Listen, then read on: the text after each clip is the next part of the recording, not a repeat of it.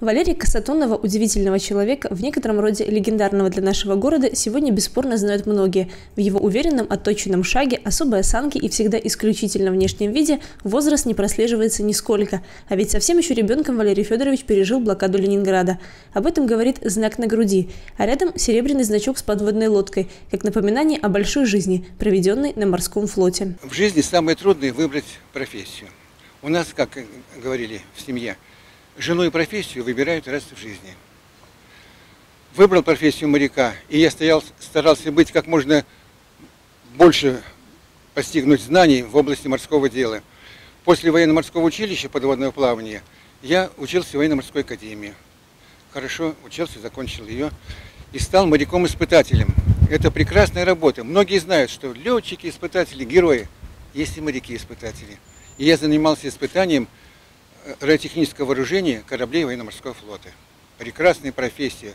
Много ученых повстречалось на моем пути, много умных людей, талантливых. Поэтому, конечно, один корабль прошел, второй корабль прошел. И вот сейчас уже они ходят уже много лет – это я испытывал, это я испытывал. Это гордость. Актуальный в эти дни для старшеклассников вопрос «Кем быть?» для Валерия Федоровича Касатонова не был насущным. Его семья неразрывно связана с флотом. Здесь служило не одно поколение Касатоновых. В 1950 году мама отвела 11-летнего Валеру поступать в Ленинградское Нахимовское военно-морское училище. Трехступенчатый экзаменационный барьер был блестяще преодолен, после чего Нахимовский выпускник стал курсантом Ленинградского высшего военно-морского училища подводного плавания, которое тоже закончил с отличием. Дальше был Северный флот, подводный подводные лодки, многочисленные испытания на морских судах разного уровня. И всегда с собой, как талисман из блокадного Ленинграда, Валерий Федорович носил небольшой сувенир, подаренный ему моряками в далекие сороковые годы. У меня есть, вот, понимаете, такая фигурка, это Нецки, японская, Нецки. Называется он Хатей. Если по животу ему погладить сто раз, то счастье и удача будет сопутствовать себе. И он всегда улыбается, видите, Хатей. Этот хатей, вы знаете, вы не поверите, мне подарили его моряки, они жили в нашем доме во время войны, блокаду, в 1942 году.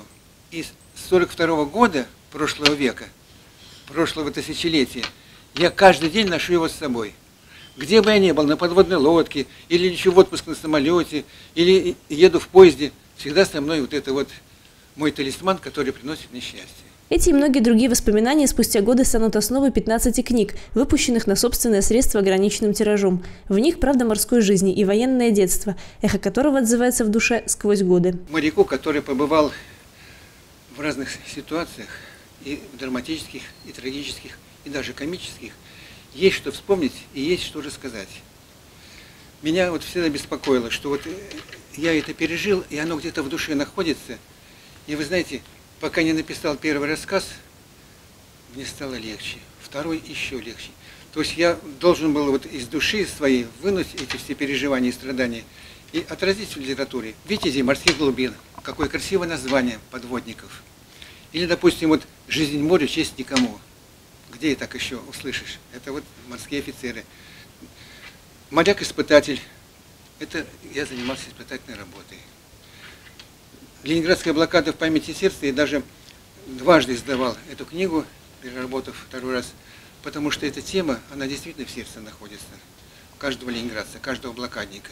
Сегодня Валерий Федорович полон сил и энергии. Он с удовольствием посещает мероприятия патриотического характера, общается с молодежью, а еще принимает поздравления с юбилеем Великой Победы. Награду от имени президента России Валерий Федорович получил накануне. Планов у нашего героя очень и очень много. Сейчас он готовит к печати новую книгу, которая выйдет в свет уже совсем скоро. Анастасия Ноздрин-Плотницкая, Александр Воронин, Александр Макаревич, телекомпания БУК ТВ.